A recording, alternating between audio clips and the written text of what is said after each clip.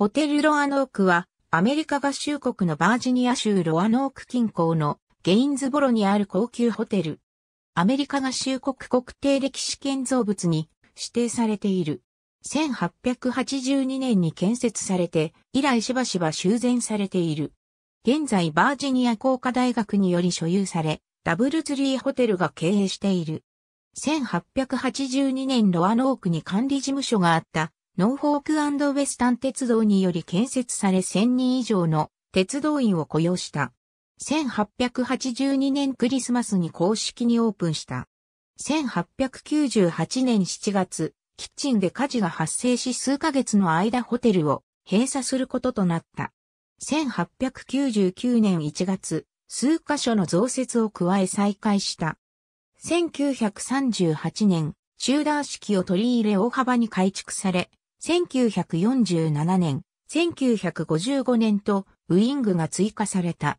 1989年、ノーフォークサザン鉄道はバージニア工科大学にホテルロアノークを譲渡した。11月30日の閉館式の後、ホテルは閉鎖された。譲渡は17日間続いた。1992年、ロアノークリニューキャンペーンは、まず再開に十分な資金集めを開始した。バージニア工科大学は1992年12月31日に最終期限を決定した。秋の終盤、100万ドルほど不足していた。しかし、クリスマス基金パーティーが成功し、500万6千ドルを得る。ノーフォークサザン鉄道は、ホテルの価値の約30倍の200万ドルを寄付した。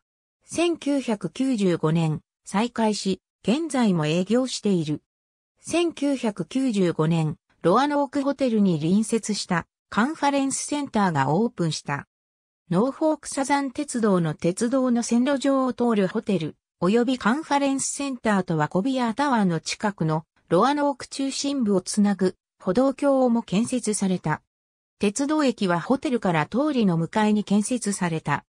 2004年、それはロアノークバレービジターズコンベンションビューロー及びオーウィンストンリンク写真博物館に変更された。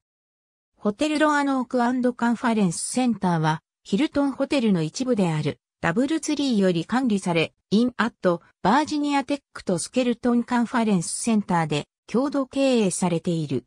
多くの会議を主催する上、以下のような著名な来客もあった。ありがとうございます。